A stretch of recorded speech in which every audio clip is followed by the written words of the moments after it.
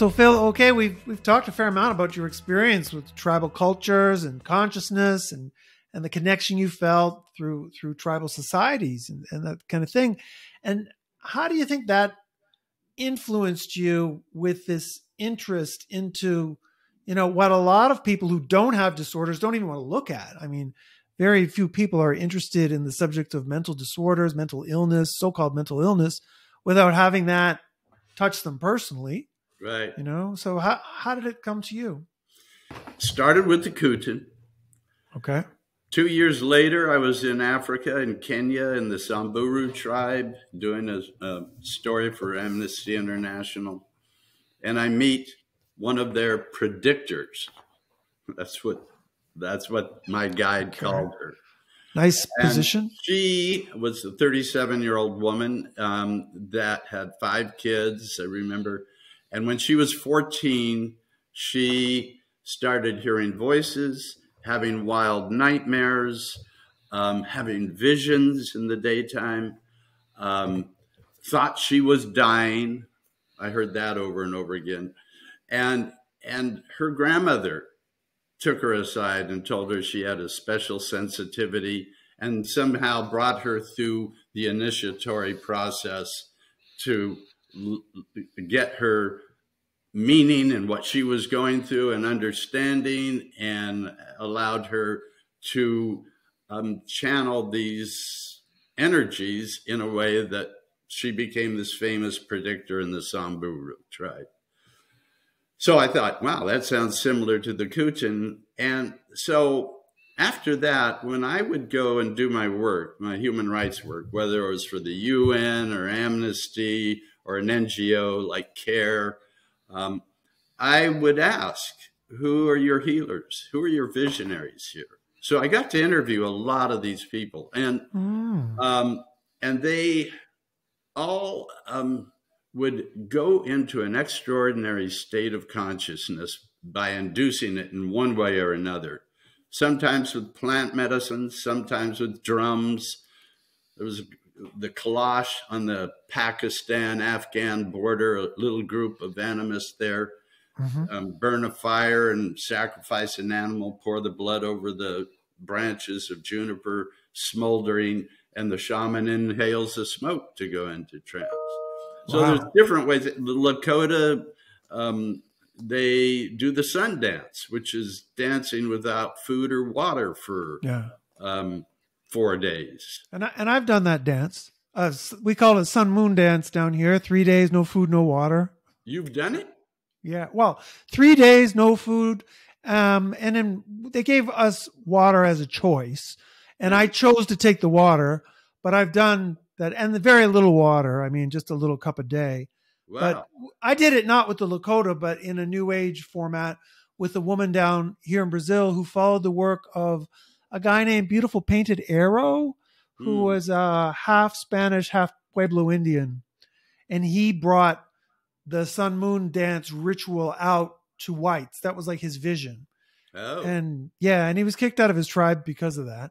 But um mm. yeah, but uh so yeah, I've done that four times.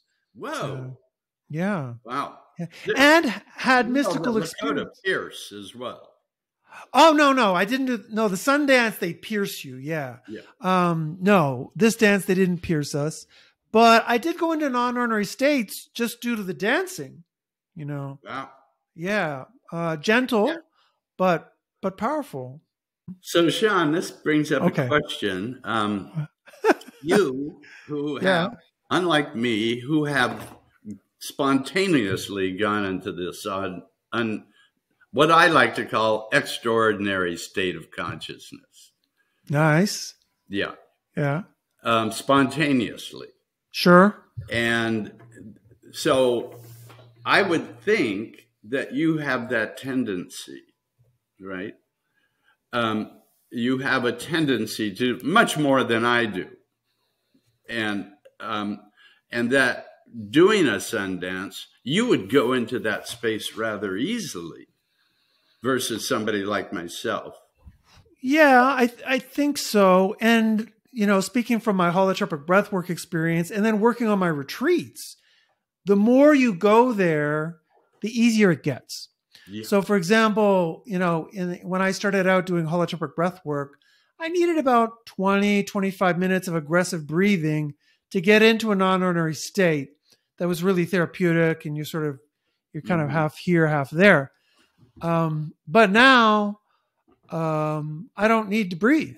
I can just be in the room and I don't need to overbreathe. I can be in the room, the music starts, and I'm away to the races, you know, and it starts out mild, but it can go deep just like any other session. And and so even my work now, like because I'm doing distance healing for people, yeah. I go into my room and I'm in a subtle, non-ordinary state for two hours. But then I just I just come out and I eat and I'll watch the Toronto Raptors play in the playoffs because I'm tribal like that.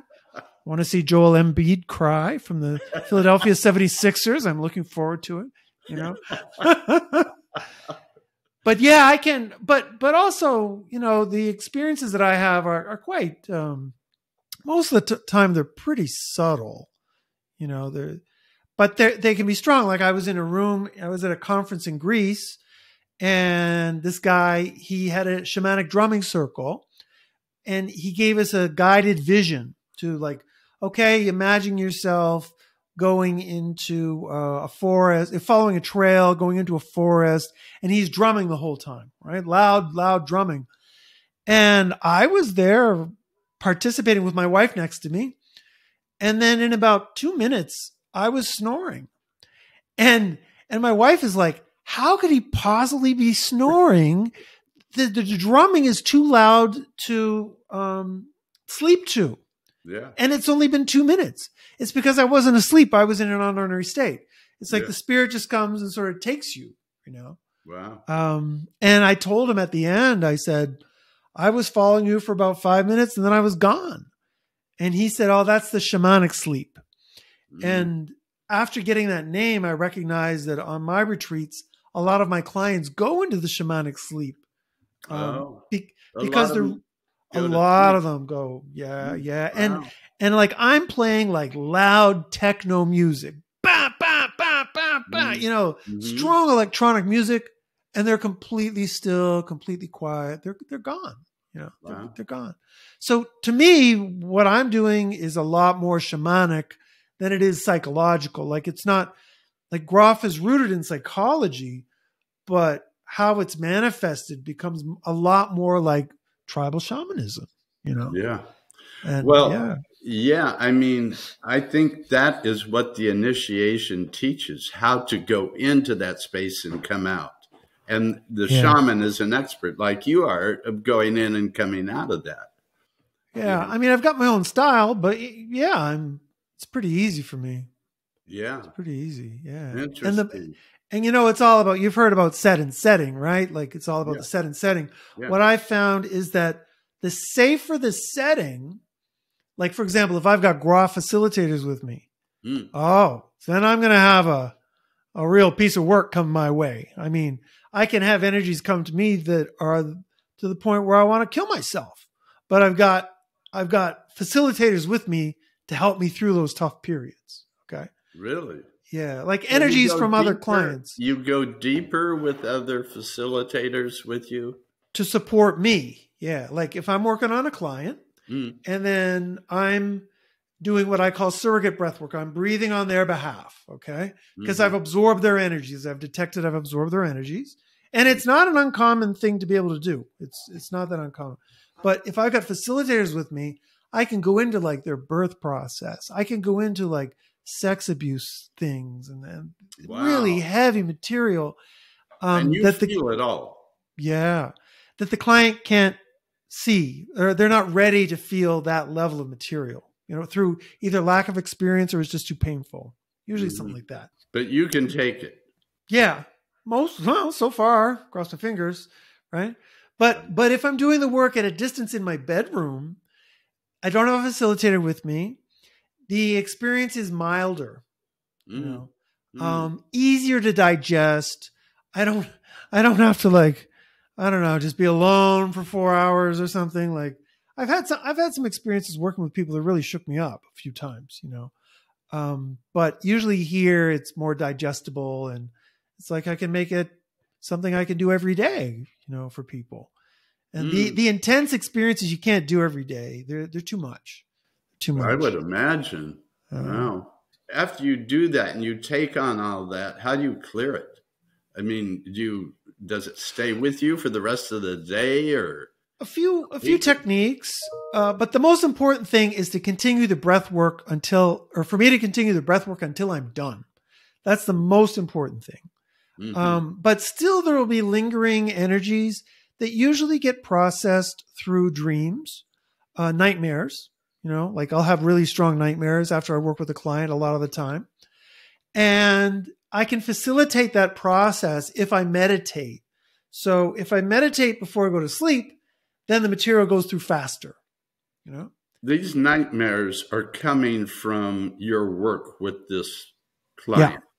Yeah. yeah. It's their it's their issue that you're having a nightmare about, Yeah. not yours. So, like, I had one client, um, a good example years ago, uh, where she was dealing with a lot of fear, and I could tell because whenever we talked, she had her hands up around her neck, which is like a a thing that um, people who study this sort of thing know. People are very fearful when they protect their necks, and uh, she had some good sessions.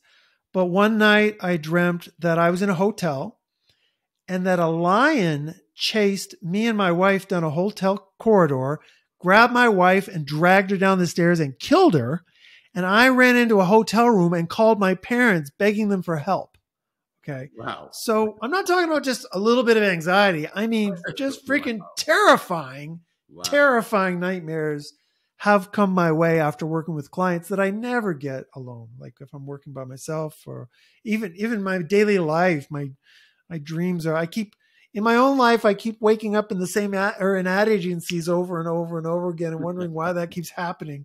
So if I have an ad agency dream, I know it's not my clients, but if someone's dragging my wife or a lion is dragging my wife down a, a cor- corridor of a hotel, I know that it's related to the client I've been working on. Did that did you verify that with the client to see if that ever happened to them or if they had had those dreams? Uh, this How did it particular client, the client that lion story. in well in this particular case i didn't even share it because uh, the client was very uh, disconnected from their feelings so you need to be careful with what you share you know? Mm. um, but another lion story and this happened just yesterday I'm, I'm working with a distance healing i'm doing distance healing with a guy Mhm. and sometimes what comes to me, I get a lot of negative energy, but sometimes what comes to me is just visions. And the visions are not really therapeutic in nature. They just let the client know that we're connected. You know? So what I saw was a, a statue of a lion, the kind that would be like in front of a mansion, you know, like Oh, two yeah. lions protecting the entrance, this kind of Mhm. thing. And uh, this particular client told me not only did he frequently take pictures of sort of lions at the entrance on many of his uh, trips, his travel journeys, Mhm. wherever he went, because he was a big fan of them. But him and his mother actually bought a lion and put it in front of their mobile home. it's like the opposite of the big mansion, you know, just the trailer with the two plastic lions in the front, you know, this kind of thing. Um, so when when links like that happen, where like I'll get a vision of this lion, and the guy says, "Well, I actually bought one and put it in front of his mobile home," it's like it's a it's a synchronistic relationship, so uncanny that the client knows that I'm picking up their material. Yeah. you know, and you know, it's not always like that, but it's frequently, you know, I've I've had visions of people, and then uh, the clients have sent me the photo of the person that I was referring to, and I don't know who Mm. that person is, you know, Mm. and and and I was never a person who considered myself psychic. It's from going into these processes where you Mm. get in touch with this quantum dimension we call it today Mhm. but i but i think it's the same dimension that the tribal shamans are in touch with yeah. and I think it's the same dimension that people are sort of floating around in when they go into acute psychosis. I think it's all the same. You know, it's, Mhm. it's like that old uh, Joseph Campbell quote, you know? The the shaman is swimming where the schizophrenic is drowning. You- Yeah. You've heard that before. in the same waters. in the same that water. yeah. Yeah, that kind of thing. But anyways, yeah, back back Well, to you a little bit. Say we're all totally connected in some level. Sure, and it's it's also why when I work with people, I don't see them as having a mental illness. I just see them as having sort of gone into these sort of strange realms that I've already visited, and they just need some help in sort of working through what's there. You know, hmm working through what's there. Mhm. So again, you know, very very shamanic in, in Yeah. nature. Interesting. Wow. hmm hmm Yeah, for you to explore this, I would imagine for you, you had this episode. You said in two in uh, Ninety six, uh, ninety six. Yeah. yeah, or So- ninety seven. Yeah. So that's almost what thirty years ago. yeah, a long time ago. And so it's brought you to this where you are now. So in that way, would you consider it a blessing? Oh, for me, it was the most pivotal pivotal experience of my life. There's no doubt Mhm. about it. Changed the direction of my life entirely. I wouldn't be in Brazil. Uh, you know, I wouldn't be married to Leisha. I Mm-hmm. wouldn't be studying this work. I wouldn't be doing any of this if it wasn't for that particular experience. Yeah. You know, so biggest blessing of my life. It's certainly up there. Yeah. You know, and before that, I was dealing with depression on and off again for about seven years. Um, you, feeling you have to deal with that now. if I get stuck, if I get stuck, um, sometimes there's just deeper work that needs to be done or deeper decisions that need to be made that I'm really not going in the direction I need to be going. And then it's like, come on, do that thing you're afraid to do, you know? Mm. But if I go, if I get into a space where I'm feeling depressed, then it's like I get really introspective. It's like, okay, this is all about me. It's not about what's going on out there Mm. and I work on myself and I try and make the decisions necessary to move forward, you know, to find that energy, right? Mhm. Um, so for me, part of finding the energy was starting a podcast this year. I felt like I needed to come back to the internet world and, in a sense, share what I've been learning doing retreats for seven years and, and my Yeah. experience, you know, and introducing people to people like yourself who've who've made a significant contribution and who bring a really unique perspective. Mm-hmm. You know, Great. Wonderful. yeah, yeah, Yeah. Yeah, So, it is yeah. pushing yourself through those fears, right? That oh yeah, if you get Yeah. too comfortable, that's what I am semi thinking I'm doing now. I'm writing my memoir a little bit. Are you getting too comfortable? How old are you, Phil? Come on. I'll be 80 in December. I think you're allowed to be comfortable. You're 80. Take, Take a a break. The Sahara Desert can wait. yeah, I yeah, I don't know. Um, I I think you know I'd like to put out some of my experiences, what I've learned, type of stories, Right, right. and I think that could be helpful to some people.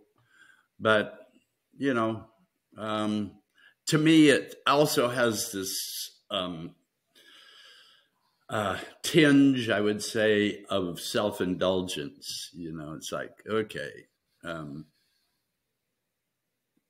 how much, you know, I've, I've, I've had a lot of my life that I've done things out of curiosity a lot, but also out of need for admiration and respect and, and, uh, that sort of thing. And I, now question myself when I go to do something, how much is that trying to feed my need for admiration, respect, and Sure, sure. approval?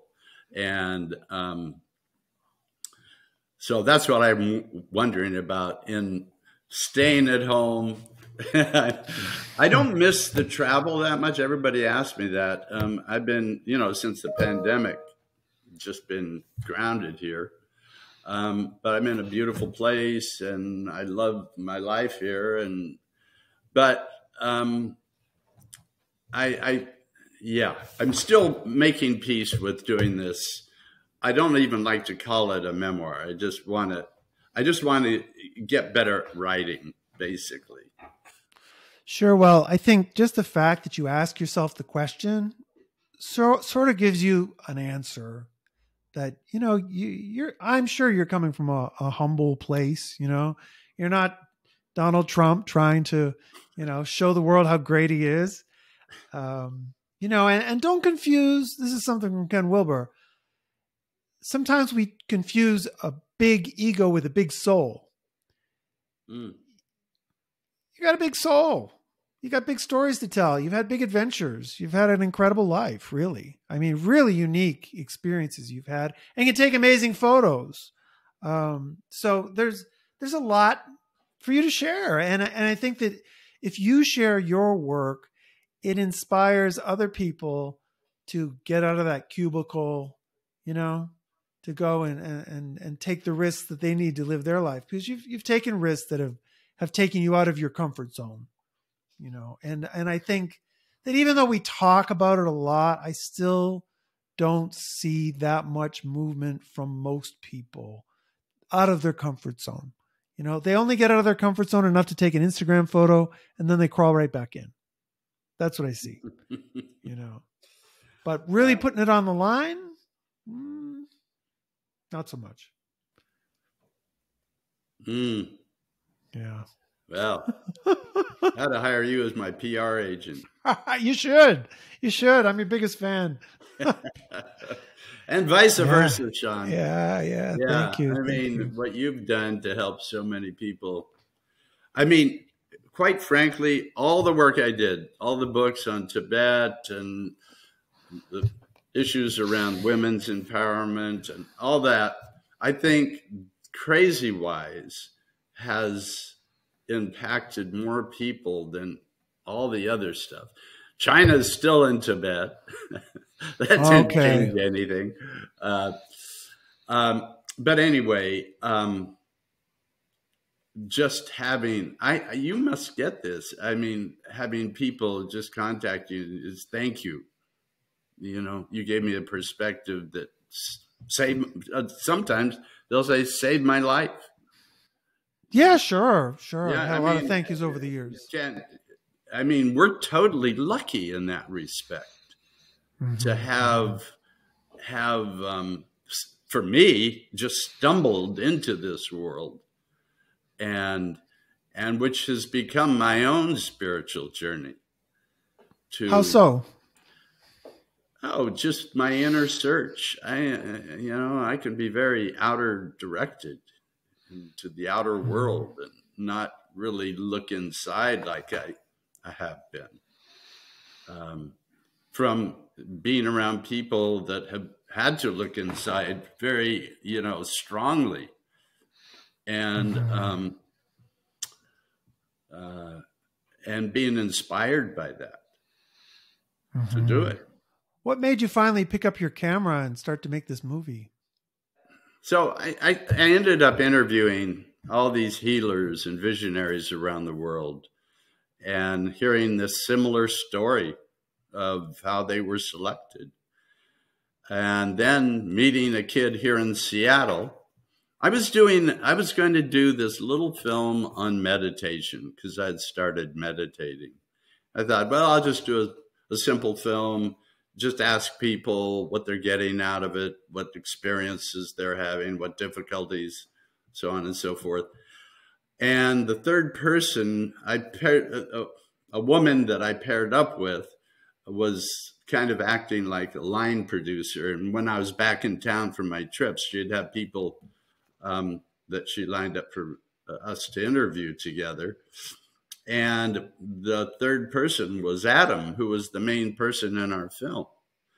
And he had had his break at 20, you know, medicated on 15 pills a day for four years and having all sorts of side effects.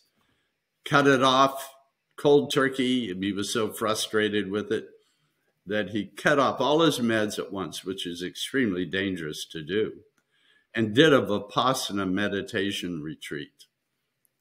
10 hours, 10 days, silent meditation, like 12 to 14 hours a day meditating.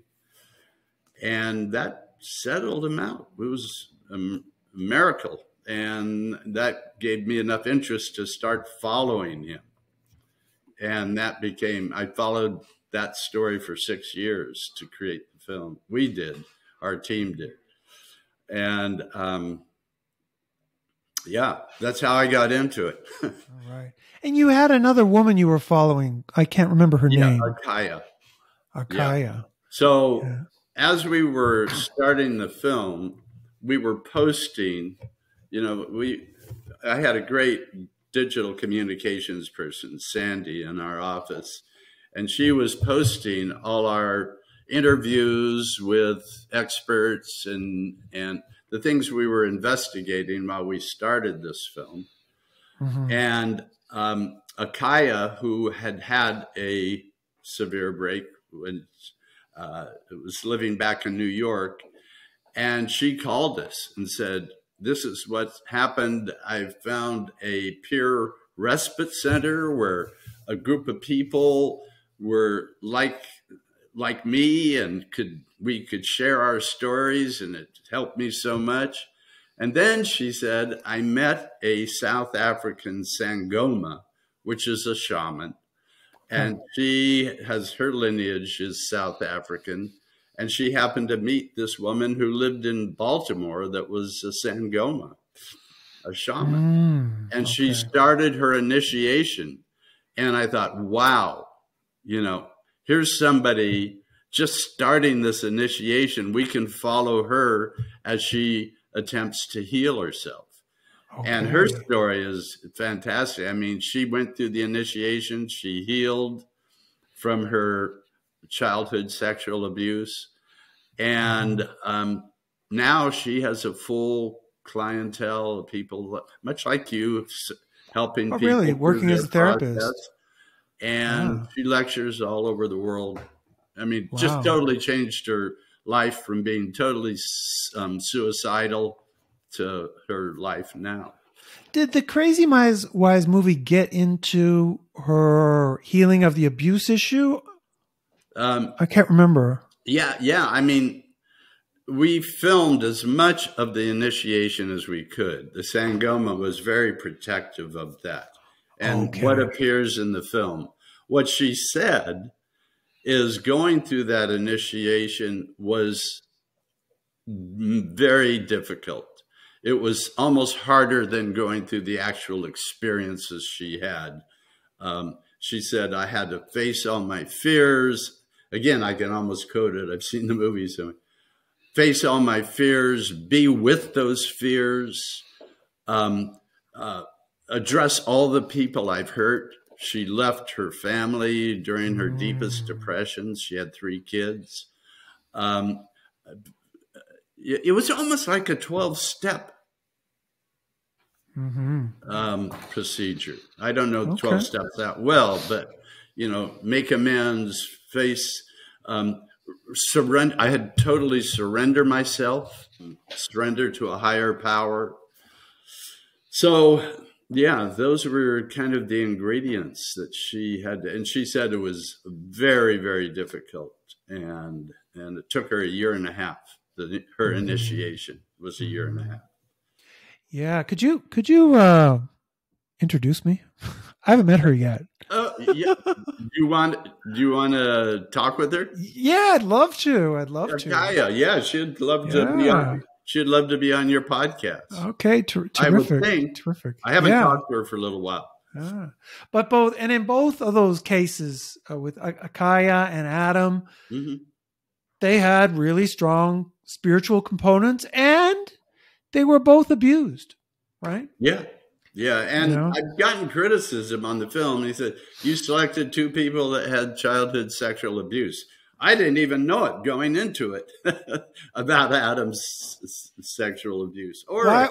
Why would you be criticized for that? Well, they said it's too much about sexual abuse. You mean I? You know, when you make a film, you're going to get crit- criticized for. Some people said there's Uh. too much shamanism in this. Um, yeah. uh, psychiatrists have said that. So, um, anyway, the film is what it turned out to be. It wasn't like I was selecting things. Okay. Okay. Other than I selected yeah. her because she was going through a shamanic process. Yes. Mm-hmm. Now, I, I, guess I was thinking that maybe you had somebody telling you, well, this person doesn't have a typical disorder because they were sexually abused. Like, you know, but that didn't happen. It was just that both were abused and they thought that was too much focus on that. Right? Yeah, it was, it was like it was like everybody that has these problems has been sexually abused, and that is oh. the case. No, it's not the case. But I'll be doing a podcast soon about the prevalence, and I can tell you it is a lot more prevalent than I imagined when I started getting into this work. Oh yeah, yeah. And it is very complex territory because there are things like blocked memories. Yeah. Um, where people don't remember what happened to them. But then when they go, they're in a manic episode, they have these feelings come up and they start blaming certain people around them for abusing them. And, and you, and often it's not the person that they're pointing to that abused them, but it was somebody else, or it seems to have been somebody else. But, you know, I think, um, I, I've read some data. At least 50% of people with the disorder have been sexually abused. I mean, you know wow. uh, and and definitely for women uh and for men it's it's would be more than you would think you know like i've had four male clients who were in boarding schools and mm. we know that boarding schools are rampant with sex abuse you know mm. um, from teachers to students excuse yeah. me from teachers to students but also students on students you know yeah um so it's a it's a big territory that is not touched upon, and, and I'm really glad that you brought it up in your movie. Yeah, yeah. yeah. Mm-hmm. Well, it just happened. I wasn't, yeah, I wasn't going out looking for it. Yeah. And I remember when we first met, and you weren't so keen to jump on the spiritual dimension of these disorders, and and you didn't even want to use the word. And I kept kind of leaning in on you, like, "Come on, Phil, Phil, come on. Come on, buddy. It's like we think we're dead. We think okay. we're we think we're Jesus. We think we're going to be here to save the world. Like everything that's happening to us is spiritual in nature. It's got to be said. And and then when I saw the movie came out, I was like, "Oh, I think Phil was listening a little bit. I think there was a little bit of a well, uh, I, I in there." saying I didn't go far enough, and and I wish I had have gone further into um, the spirituality and make more a statement. I mean, first of all, you have to define that term. How do you define the word spirituality? Oh, sure, sure, sure. And because it, it raises different issues to different people. Uh, and uh, for me, it is um, a state of being um, super connected profoundly connected to everyone and everything um, is and being a part of something that's larger than what you think yourself is so mm-hmm. well i think those are important aspects of it there's there's no doubt about it but you know when we started because we we spoke at the first CRAZYWISE conference together we were kind of the headliners and yeah. we named the conference after your movie and th- by the way this conference uh, was in the Netherlands in Rotterdam, and they they've still got it going seven years in a row. This, this, conference, yeah, it's still going. But at the time, I was the only one of all the speakers talking about the spiritual dimension of these disorders. Yeah. And yeah, and and the same year, I was at a transpersonal conference in Greece with my mm. wife. Same trip, and again, okay, transpersonal psychology conference. It's all spiritual. I was the only one talking about mental disorders at the spiritual at a transpersonal wow. conference.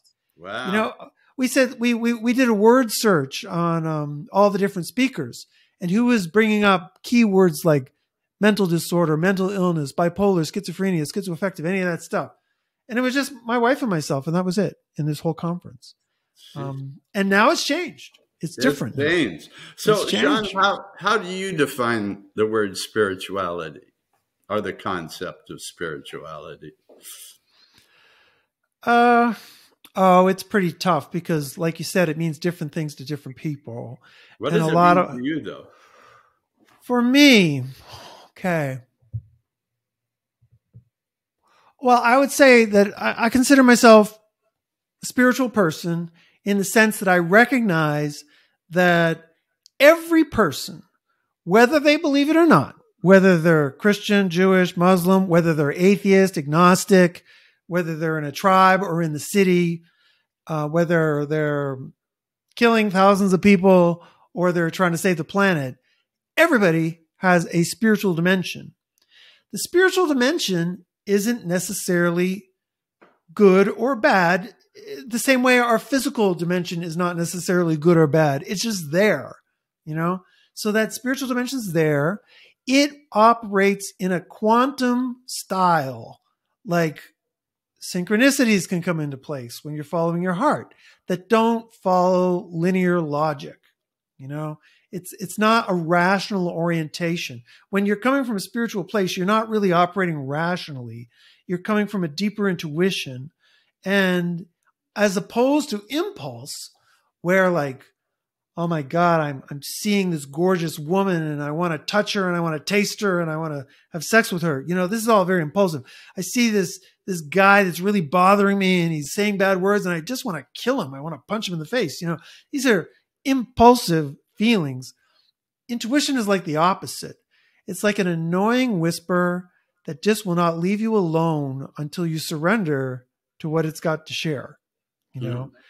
Mm. and that means things like i'm going to spend money i don't have to take a trip that i probably shouldn't be going on but i keep dreaming about this place every night and so i'm going to go you know mm-hmm. um, i i don't know why i'm spending an hour and 45 minutes on an interview when I know that the average listener on YouTube is probably going to listen for about 15 minutes. But, but it's like there's something more going on than views and likes and money. It's about connection and following that intuition and following that intuition and having faith that something bigger is going to come out or something, I don't want to say bigger, but divine is going to unfold out of honoring that spirit, you know? Mm-hmm. You might put it that way. That there you go. You've just got my definition. I've never thought about it before, but mm. something like that, you know. Mm-hmm. So I, I, really try and you know trust guiding the flow. force. yeah. Force. What does this healing field want? You know, that's my guiding question. What does this healing field want from me? Does it want me to finish my book? Does it want me to be working with people? Does it, you know, Mm-hmm. Um, which is a woman to stay up all night with my this cat that lives outside. Um, you know, just follow that feeling. And you know, my, my my wife thinks that I live in the moment more than perhaps anybody she knows. Mm. You know, wow. um, and, and, is yeah. that a spiritual um, dimension as well to be in the moment? Being, uh, I think that if you feel like you're present to what's mm-hmm. going on, yeah. Then yeah, you're in the moment. Yeah, mm-hmm. yeah, and then and then you're kind of aligned. I see it as sort of being aligned. Mm-hmm. So, like I said, even though we've been talking for almost two hours, it's gone by like that. You know, mm-hmm. I can be in an interview with another person, and perhaps the I've been talking to them for five minutes, and that five minutes feels like two hours. You know, when when time slows down, uh, I think a lot of times we're not aligned with where we're really what we're mm. really supposed to be doing, where things are supposed to be going. Mm. You know, and I worked with a girl with schizophrenia. She was in India, and she told me she said time is moving slower than a drop of water leaving my hand, just wow. like. And it was like she was so lonely and so disconnected mm. from her from everything in her family and she was just in a state of permanent hell. You know, wow. her life was just one hellish second after another, and every second felt like an hour.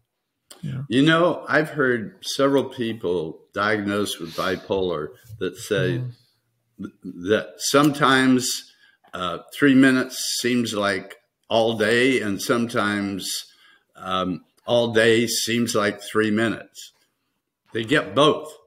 Well, it's um time there's distorts. Few, there's a few things that are going on. Yeah.